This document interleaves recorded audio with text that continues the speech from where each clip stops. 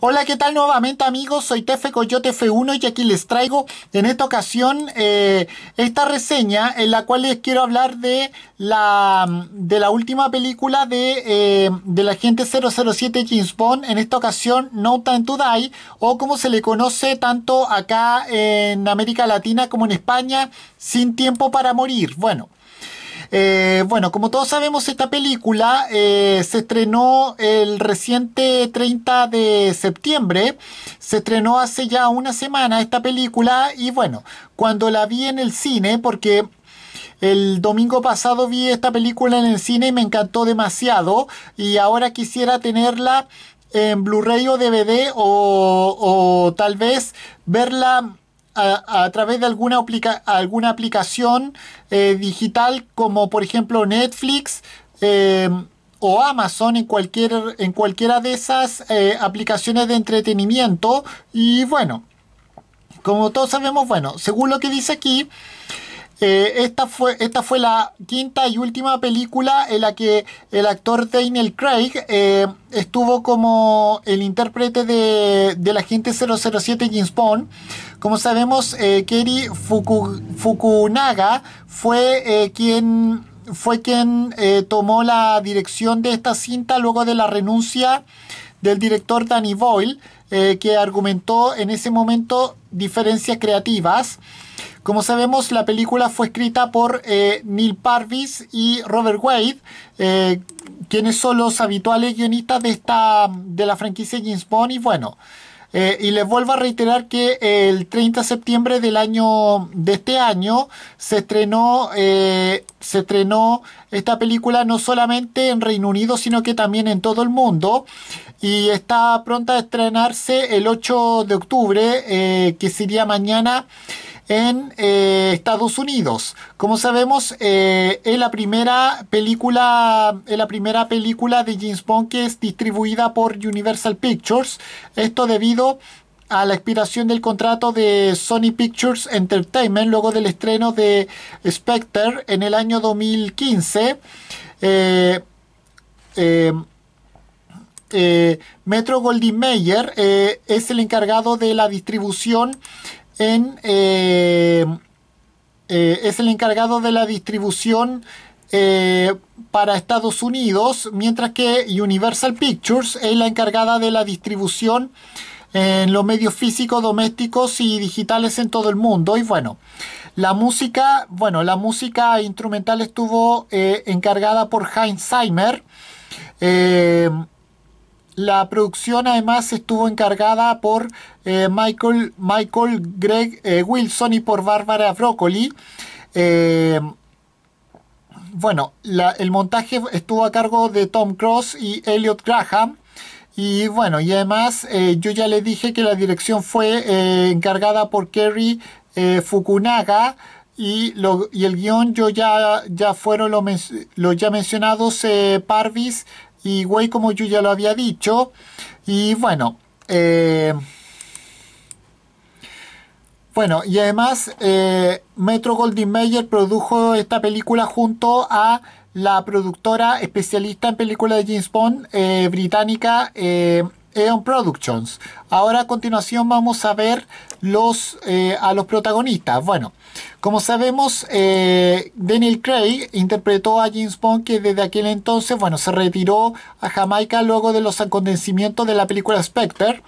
Eh, el, villano de James Bond, que estuvo armado con una peligrosa tecnología, es eh, Raimi, Raimi Malek, que interpretó a Seifin.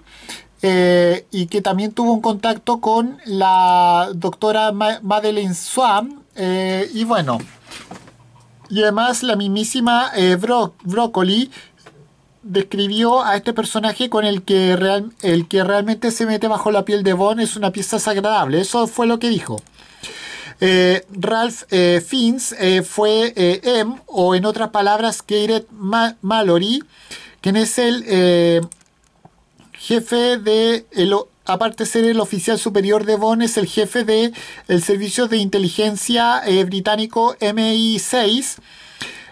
Nomi Harris eh, interpretó a Eve Manipini, quien es la asistente de M y otra aliada de James Bond. Rory eh, Kainar interpretó a Bill Tainer, eh, quien es el jefe de gabinete del MI6. Eh, Lee Sudux interpretó a, la doctora Madeleine Swan, que es una psiquiatra y además es el interés romántico de James Bond que le ayudó en su misión en la película anterior, o sea, Spectre.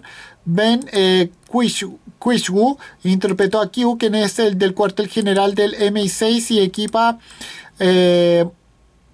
al mismísimo Bond con equipo para uso en el campo. Bueno, eh, Felix Litter fue interpretado por Jeffrey Wright, quien es el amigo de Bond y es un oficial de campo de la CIA de Estados Unidos. Ana de Armas es una agente, interpretó a una agente de la CIA llamada Paloma que ayuda a Bond en Cuba. Eh, y describió a su personaje como irresponsable y burbujeante y desempeña un papel clave en la misión en Cuba de Bond. Eh, le, Lishana eh, Lynch Nomi, que es un agente 00 que fue puesta en servicio en activo como la 007 actual luego de la jubilación de Bond. Bueno, el ex jefe del sindicato criminal Spectre, o sea, Ernest eh, eh, eh, Bluffer, quien además fue capturado y puesto bajo custodia del MI6, fue, fue, fue interpretado por Crystal Wolf. Billy, Magnussen es Ash y Daily eh, es eh, primo. Bueno, además como sabemos en esta película también apareció eh, Aston Martin, la marca automotriz premium británica Aston Martin puso sus modelos el DB5, el DBS super ligera y también el Valhalla como los autos que aparecieron en esta película. Y, aparte de eso también eh, apareció el V8 Vantage. Bueno, también como sabemos, eh, los villanos de Bond también, eh, también manejaron, por ejemplo, varios Land Rover Defender y además varios, varios Jaguar eh, también han manejado los enemigos de James Bond y bueno, eh, como sabemos esta película originalmente se iba a estrenar en abril del año anterior y se retrasó a noviembre eh, debido a la actual pandemia COVID-19 su estreno volvió a quedar eh, su estreno quedó para el 2 de abril de este mismo año en Reino Unido y se volvió a posponer por los mismos motivos. Y en septiembre de, de, este año, el 30 de septiembre de este año, se estrenó para todo el mundo y el 8 de octubre se va a estrenar para Estados Unidos, o sea, mañana. Bueno. Bueno, tuvo una tuvo críticas mayormente positivas esta película y recaudó además 109, eh, 119 millones 100 eh, mil eh, mil dólares a nivel mundial y bueno, como yo ya dije, tuvo, tuvo una crítica, tuvo crítica mayormente positivas y bueno. Y además elogiaron a Daniel Craig destacando su trayectoria como el personaje James Bond y bueno, bueno, y a mí también me encantó la película, como yo ya dije, fue una película bastante buena.